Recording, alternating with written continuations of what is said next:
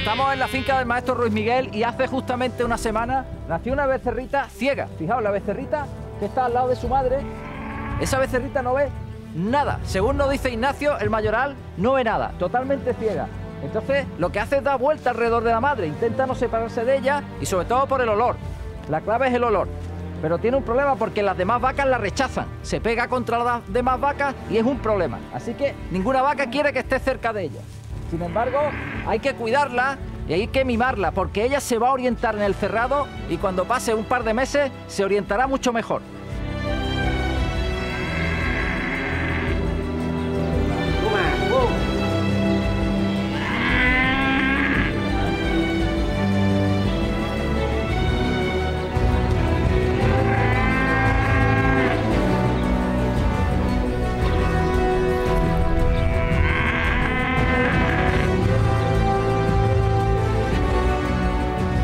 La becerrita se ponía a dar vuelta, a dar vuelta y se mareaba dando vueltas. Y entonces me di cuenta, digo, a lo mejor ve por un ojo algo más, pero no ve por ninguno de los dos, porque yo le, me acerqué a ella, la estuve tocando y le hacía así con la mano en los ojos y no, no se movía, se quedaba quieta. Y por eso sé que no ve.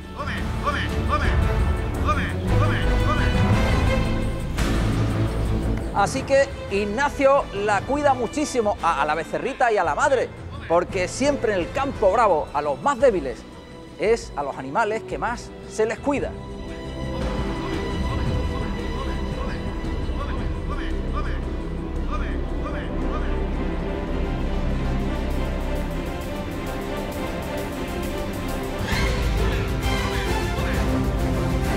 Pero no ve, no ve nada, nada, nada. Las demás vacas pasan por el lado de ella, ni, ni la tocan ni nada, pero no quieren saber nada de ella.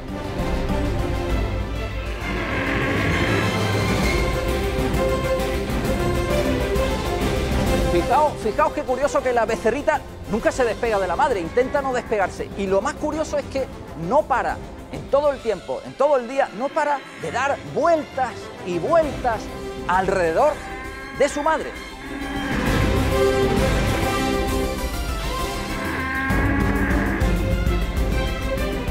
Fijaos lo que os decíamos, cómo Ignacio el Mayoral se acerca la vaca brava y la vaca lo respeta. Eso es muy raro.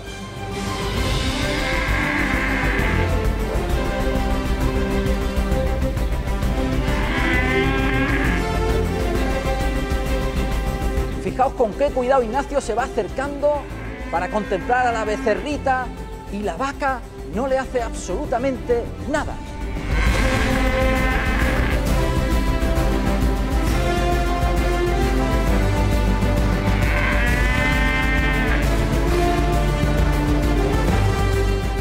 A partir de ahora, lógicamente, esta vaca y esa becerrita van a tener todos los cuidados.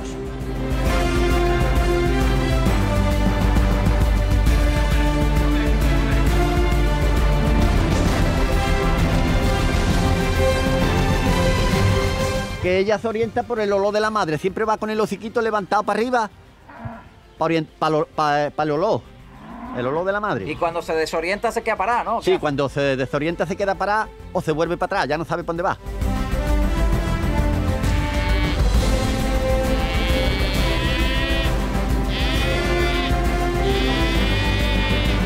Fijaos, ahí se desorienta la becerrita, se ha quedado desorientada, ella no ve y tiene que dejarse llevar por el olor, pero las demás vacas la confunden.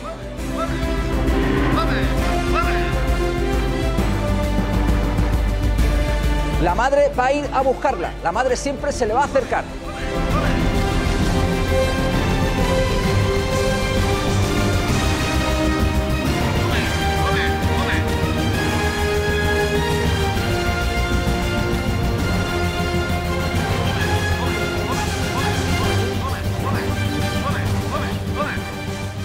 Bueno, fijaos, Ignacio el Mayoral es un fenómeno. ¿Cómo ha conseguido apartar a todas las vacas y ha dejado al becerrito solo? ¿Veis? La becerrita ha conseguido separarla. Mira la madre, mira la madre.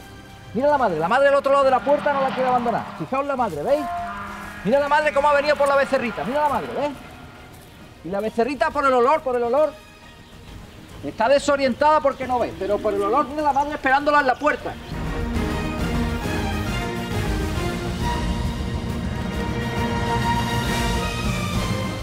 fijaos la madre cómo la llama. Es impresionante. El instinto materno. Fijaos la madre cómo llama a su becerrita y cómo la espera. Mira, mira, mira. Mira cómo llama a la becerrita y cómo la espera. La becerrita la tiene aquí Ignacio. Mira, la becerrita no Mira, tiene aquí está la becerrita, ¿ves? la vi. No No tiene ve. nada, ¿no? ¿Lo ves? Eh, los ojitos los tiene bien. Pero, pero no, no, no ve, ¿no? No ve nada, nada. Bueno, y fíjate la madre cómo está ahí.